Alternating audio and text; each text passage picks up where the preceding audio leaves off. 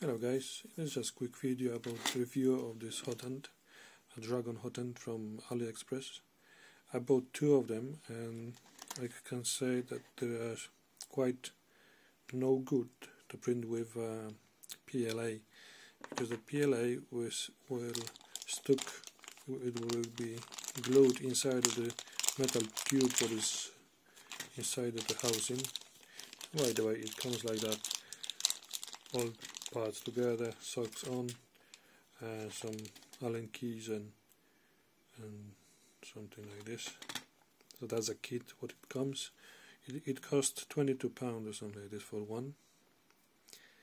It goes here. Looks good, looks nice, but is way no good for a PLA um, printing. Because what happened to me, I had a fan in here what was cooling that part in here, the housing, the radiator, everything, but the PLA have stuck somewhere here. So there, there's no big problem to take the PLA out, but then I have deassembled all of this uh, hot end, and I found out those pipes are very thin, and this this um, tube, this throat, what goes inside here, I have just squeezed it because it was so so thin the, I don't know it is very thin it is very no nothing like uh, nothing robust so that's that's not a thing for me because I like robust things where I, if I gonna grab it with uh, pliers or something it's not gonna be squeezed or squashed or whatever um, might happen to it. So I prefer old ones V6 or something like that or like Ender comes with these hot ends they're much much much better than this.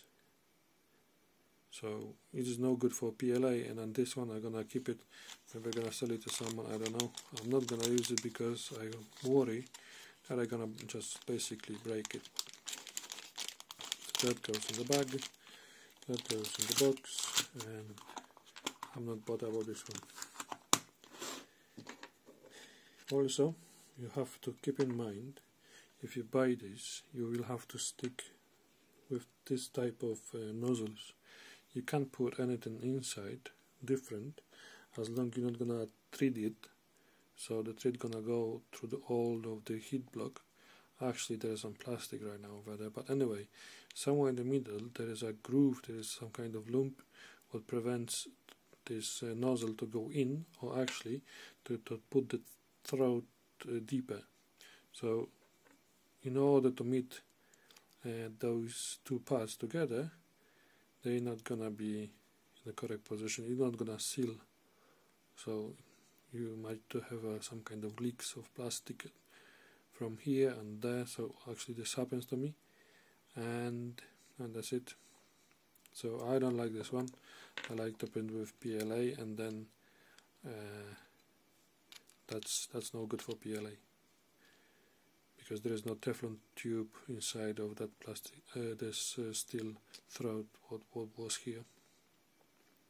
So that's it for today. Hopefully I have helped. Have fun printing. Hopefully not with this uh, dodgy hot end. Good luck everybody